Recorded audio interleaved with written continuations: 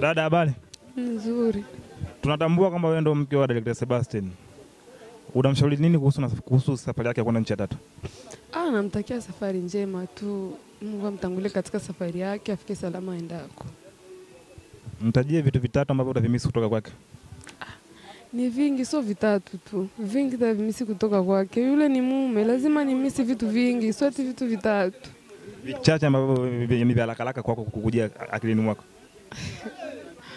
Yaani mtamisi sana mume wangu, yani ah, sijui niseme nini, ila mume wangu ah, yaani ah, naishwa hadi kusema, sijui niseme nini. Najua utakuwa na furaha ya huzuni, lakini mbeleni itakuwa na faida. Basi mpe ushauri wa mwisho kuhusiana na safari yake. Ah, Ushauri walani, mi namtakia tu safari njema tu. Ah, Ah, najua una shida, una shida, lakini tunaomba uambie mashabiki wa Sebaste na mashabiki wako juu ya safari ya mume wako. kwanza mashabiki wake na mashabiki wangu pia wazidi kumwombea tu katika safari yake, afike salama aendako. Kuna mengi atayafanya akifika huko, ila wazidi kumwombea tu. Niliongea na director Sebastian akani- akaniambia SB Clever Brand ameacha baadhi ya madirekta.